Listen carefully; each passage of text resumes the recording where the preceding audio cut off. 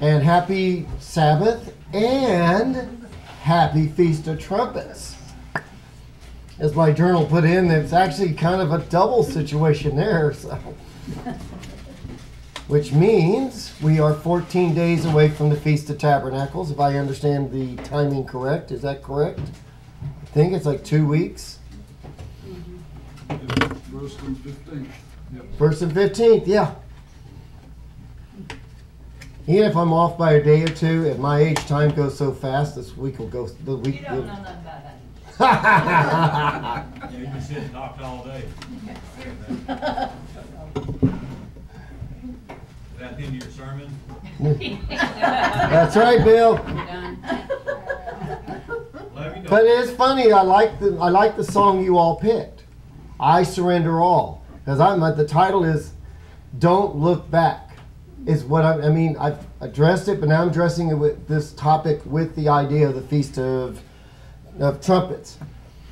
And as usual, I start with quotes. Oh, by the way, Dell says hi. He sent something back to say hi. I meant to say it during announcements, but we'll say it now. Just make it quick. And he's doing fine overall. so, we're not to look back. I I know people do this. I was listening to someone in the church saying they wish they were back in 1950s because society was better and all this. I went, well, it may have been or may not have been, but you can't go back. But they, we look back. My mother looked back at the fact, wanted to be with my grandfather. I say grandfather, her father, but he had passed away in 1950 something. And it, you just can't, you don't look back. You can't do that. And as usual, we start with quotes like Mandy Hale. She says, Never run back to, to what broke you. Once you made a decision, move on. Don't look back. Your destiny will never be found in the rearview mirror. And I thought that was a pretty good one. You can't look back and think your destiny's back there. And since I drive all the time, I don't think my destiny's back there. I usually want to get farther in. And what General Washington said, we ought not to look back unless, unless we, unless it is to derive useful lessons from the past errors, and for the purpose, for the purpose of pro, uh, profiting by dearly brought experience. So basically, by experience, or, or you want to think of lessons. And C.S. Lewis, I like this one. This is just a quick one. I just liked it. He said, "There, there are far, far better things ahead than what we, any, anything we left behind," and that is true.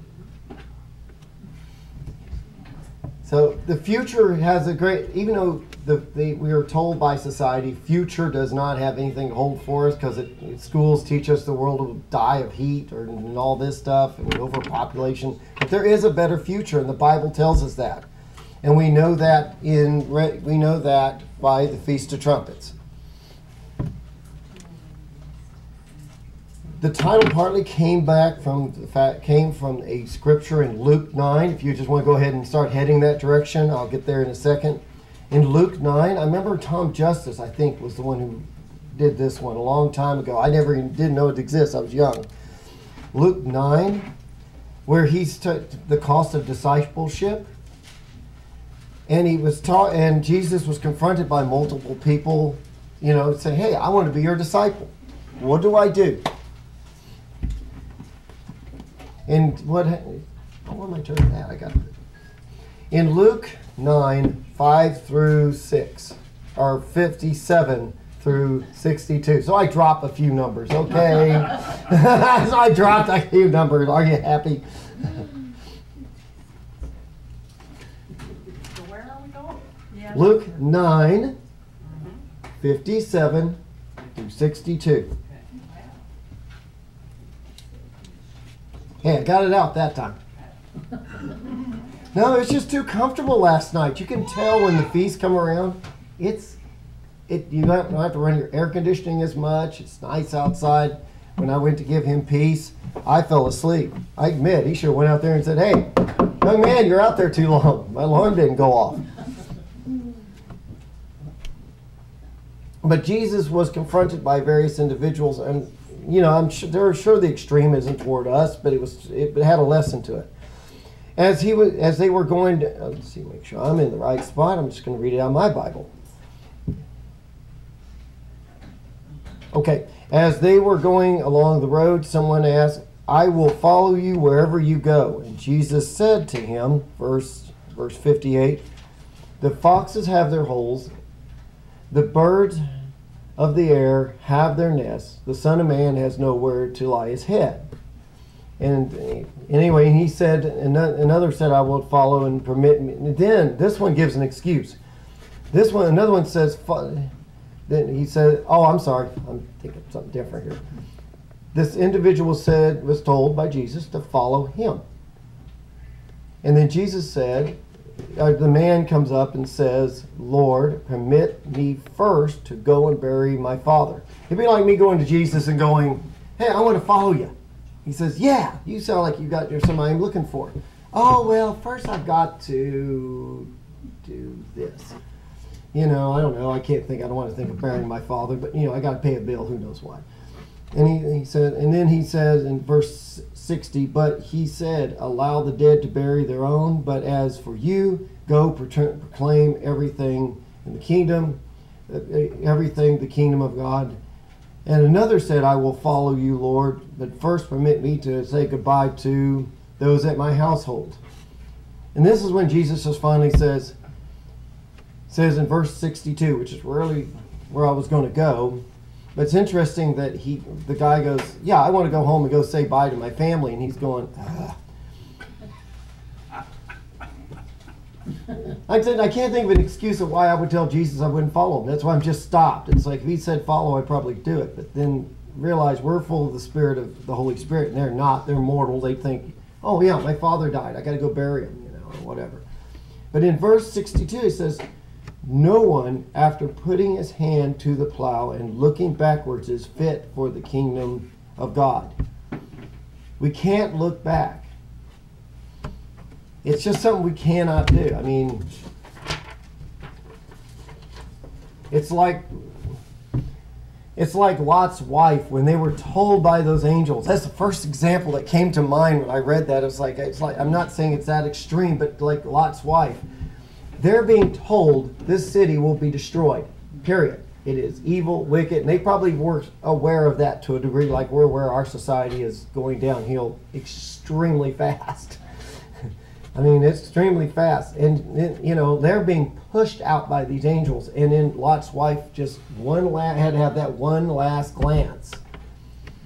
And we can't be that way. We got to keep our head forward because he talks about somewhere that the plowman cannot look back. Because we did, I didn't understand this until somebody who was a farmer told me. If you look back, you could be doing this. Your road goes, yes. Well, it's the same if you drive. You could be looking at something at a distance and do that. I've done that. Like last night when I was watching the clouds, I had to really watch what I was doing because it was a beautiful cloud. It was just broke in a circle with all the clouds around. I had to go dull, focus on the road, keep an eye on that road because you will be off that road. And Lot's wife did also wasn't focused and like like plowing or driving, you've got to keep your eye on the kingdom. And Jesus gives us that prize in uh, in Matthew 6 31 not prize but the focus Matthew 6 31 through 33 we all know this one because in the Sermon on the Mount he tells tells us what to focus on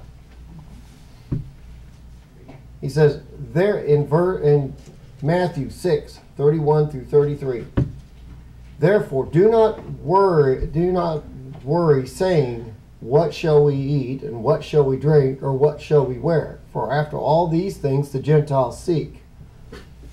For the for your heavenly Father knows that you need all these things. So we can take great confidence while we're walking this life that God is aware that we're very physical. We need stuff. It's like the bargain I found at Kohl's where they had, like I was telling, the T-shirt, the not T-shirt, the dress shirt that has the sharks on it, four bucks. It was eight to ten dollars. It's four. That's not a bad deal. But God will take care of in, in whatever way. But he's in verse thirty-three he says, "But seek first the kingdom of God and His righteousness, and all these things sh- shall be added to you. You will be taken care of. So if you focus on that road, God will take care of it. Is what he's saying. You don't have to worry about what you eat or drink. You know, like like Elisha, wasn't where he the, the famine? He said there will be no rain for three years, and when the food ran out, birds brought him food after that. And in life, I recognize as a disclaimer that yes, we have things that were presented that is our goal. For example, when I was a young man, I was told to get married, which I never did, but whatever. but marriage is an honorable goal if that was your goal in life. If you want a good career, another thing I failed at, but hey, whatever. but but we do have goals in life. To what? It's overrated.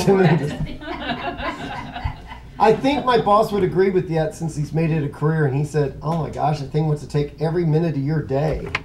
So, Well, But- it's another job, it's twenty-four hours a day, yeah, you may not wanna do that. I love but what I'm not saying when I say focus that we forget about our lives. Of course, we take care of our grandkids, and we. And I don't have any, but if you have grandkids or kids, of course you take care of your job. But like on the road, I can sit there and watch the world around me and still focus on the road, sorta. Depends how tired I am. Depends how tired I am. but overall, I have a tendency that I can watch the road and still be able to go where I need to go and focus. So I'm just saying that don't feel like like a monk, like the Middle Ages, where you had to go into a cave and go mm, and do all this and not. Yeah, no, no, you know. But when it says focus, just you know that's your primary thought of the day. That's why in the in the prayer you hear Jesus said, when you pray, pray first, Thy kingdom come, that will be Your will be done on earth and all that. It says that at first. that- I want to go to Philippians three seven through eleven. Paul explains how he felt about this this in Philippi- Philippians. Go ahead and do it this way.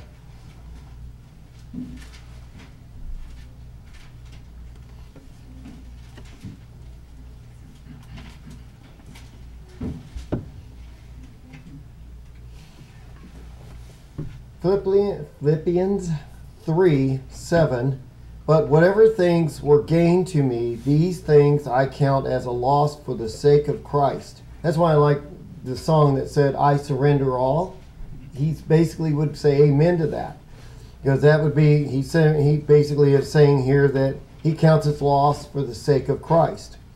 More than that, I count all things to be lost in the view by surpassing that in the view of surpassing the values of, of the knowledge of Jesus Christ, my Lord, for whom I have suffered the loss of all things and counted them like rubbish, rubbish, as that I may gain Christ. So Christ was his focus also.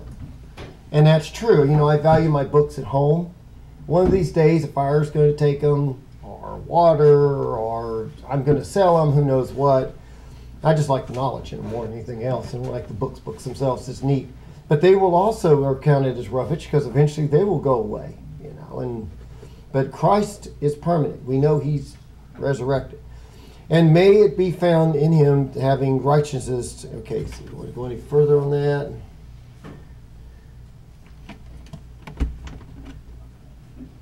Verse, verse ten. Let's jump to let's go down to verse 10 that I and it says that I may know him and the power of his resurrection and the fellowship of his suffering being con- conformed to his death I'm reading the King James now if by any means I have attained the resurrection from the dead his goal was that and you know in his life that was true if you went to Paul because he gave up practically every well I think he gave up everything he just traveled he was told to go and he went that's it. And sad everybody forgets that resurrection, we're just going ahead. Yeah. Yeah, he and I were discussing that, which is not something I want to go here because then Bill will have to say, hey, get down. but just sit down. But it is interesting. It says that I may attain, obtain, attain the resurrection from the dead, not go There's a resurrection, which I, also with the Feast of Trumpets talks about, which is not the topic, but that is what we're looking for. And then in verse 12, it says, he says, and the, and the title in this subtitle was to press toward the goal. Not that I have already obtained or I am perfect, but I press on that I may lay hold of that for which Jesus Christ has also laid hold of me. Brethren, I do not count myself to apprehend, to be apprehended. But one thing I do, forgetting these things which are behind and reaching forward to those things which are ahead, I press forward the goal of, for the prize of the up, upward call of God in Jesus Christ. That is our goal. That's what we should focus on. For yes, the other things are important because we can have multiple goals, like at work. I'll, give you a quick example. At work, we'll have a main goal, but then we have multiple goals that have to make that main goal work. You know, and, and that's the way it works. But the main goal has still got to be done. It doesn't matter. And thus, we our goal is to focus to our resurrection in Jesus Christ and so forth. Don't let the world phase us. Don't let the world draw us in, like Lot's wife, and find, you know, look back. I remember hearing, and this is just a side. It's a story, but it's a side, and it's interesting. I heard when Worldwide broke up. I don't know if you all you all may know more about it. That when whatever his name is came up and said that we they could have pork and keep Sunday and all that, half the congregation just went, "We're free," and left. And I'm like, but that's not how this works. It's not how this works. If God says, do it this way, it doesn't matter. That's right. It doesn't matter what a man tells you. It's what you do what God says. God says, you do the Sabbath, you do the Sabbath. You do the holy days, you do the holy days. You stop eating certain things, stop eating certain things. Okay, yes, Lord, whatever. You know, you don't question them. And that that's and that's the problem with looking back. You sometimes you'll want to go back when there is no going back. And then it says our citizenship in heaven. For in verse 20, for our citizenship is in heaven, for which we also eagerly await for the Savior, the Lord Jesus Christ, who will transform our low, lowly body that it, that it may be conformed to his glorious body according to the work workings by which he is able even to subdue all things to himself. We are looking for something better. We are to look forward. And what do we look forward to? Yeah, of course, I don't put the chapter, but I believe it's Revelation 11.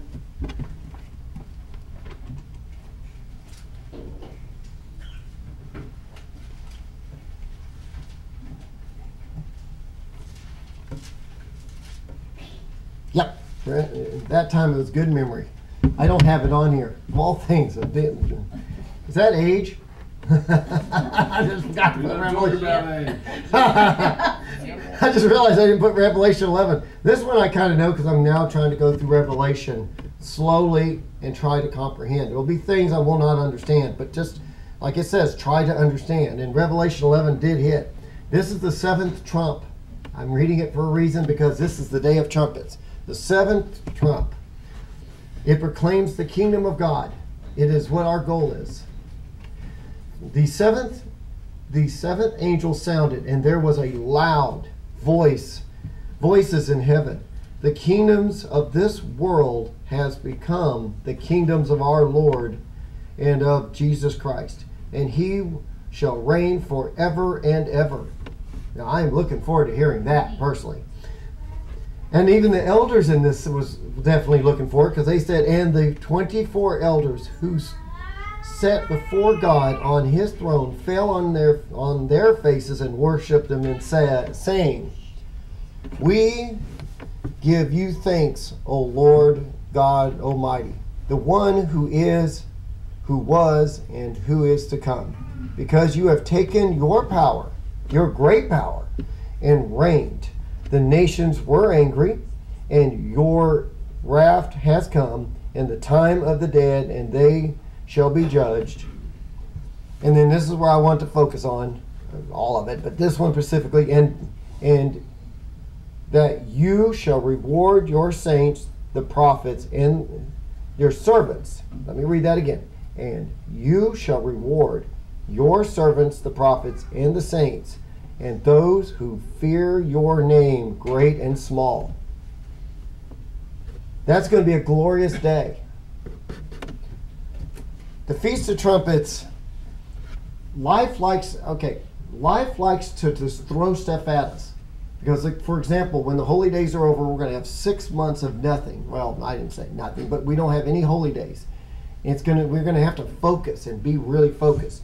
And with the Feast of Trumpets, we are allowed to stop for a day, focus on the true goal of life, which is to become righteous, follow Christ, try to work on being good people, righteousness, focus. First seek ye the kingdom of God and his righteousness. It gives us opportunity to refocus ourselves back to what and it doesn't mean we give up life, it just means that our main focus in life would be the kingdom of God. Because it will because God will one day will take care of the problems that the world is having right now. We have a hope that the world does not have. And that focus, when we focus on it, gives us, and we proclaim it to others, helps us as well. And it keeps us focused on what Christ is doing and his purpose. So don't lose heart when you see the world go crazy like I've been seeing, because I keep up with all of it. Remember, our focus is the kingdom of God and his righteousness. And one day, we'll have a reward we'll be so happy to have. And this will seem like nothing after that.